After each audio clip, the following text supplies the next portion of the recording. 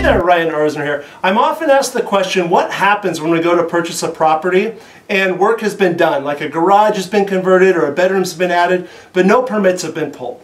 That's okay as long as we can establish through a neutral third party like an appraiser that the work was done in a workmanlike manner and that the city is okay with it in terms of zoning, etc. As always, we have to run everything through an underwriter to make sure everything's good on that end. And of course, if you're going to add something or do something, you need to make sure permits are pulled. But if you have any questions, feel free to reach out to me anytime, and I'll talk to you soon.